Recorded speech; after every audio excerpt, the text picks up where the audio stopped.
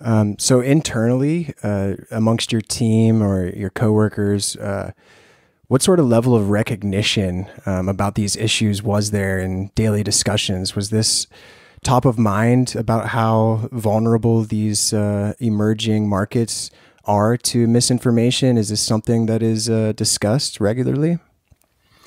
Yeah, so it is. It is discussed. Um, I am going to do my best not to say anything that would get me in trouble, which yeah, we'll be fine. But don't yeah, want to like, make any trouble for you. there's a general thought, but at the end of the day, people are doing their job, and every team is tied to metrics, and that people are very laser focused at Facebook on their metrics. And if the metric that if you're on a growth team and the metric that you are incentivized to get to is adding new users, and honestly, the easiest way to get new users is in emerging markets, just with the mm-hmm. percentage of people that don't have it, then um, in a way it kind of becomes more about trying to avoid negative news stories than really trying to mitigate actual um, social cost in those areas. Like for example, they mentioned Myanmar in the in the Netflix documentary, and Myanmar was a country that um, that I um, you know that it's a big country. It has a lot of potential for growth, and so a lot of it is about trying to like mitigate negative news stories, but also find a way to um, most effectively get new people connected there and and, and mm-hmm. grow new accounts there. So people do know it, but they're not actively using that to.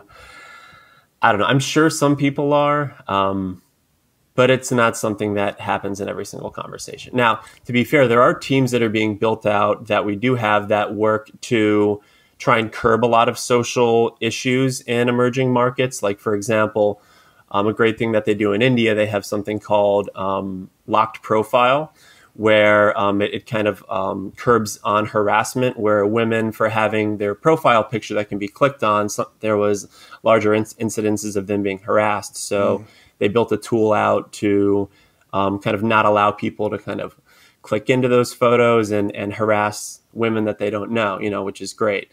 So there is there is a balance of trying to solve some problems. And, and in one sense, it's almost impossible to solve for every problem ahead of time because you don't always know what's going to happen. So it's a very it's a very tough problem that they have to deal with. Um, but I think in general, most of the negative social externalities that happen through these big problems are not as high priority as um, other metrics.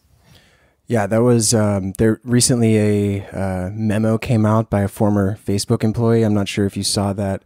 Uh, I think her name was Sophie Zhang, um, and she was a data scientist. And she, in her memo, mentioned that a lot of the focus on uh, the issues facing Facebook uh, were put onto public relations issues as opposed to issues uh, that were social crises or electoral crises.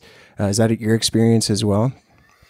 Yeah, I haven't thought much about it, but that kind of seems what it would be. It would be, you know, mitigating, yeah, mitigating public relations issues is, in, in one sense, it's like almost the only thing that they can do. Um, but no, I mean, there are definitely ways to build better, kind of proactively trying to mitigate negative social externalities. But um, I could see them being categorized as, uh, yeah, public relations issues. That's definitely more important.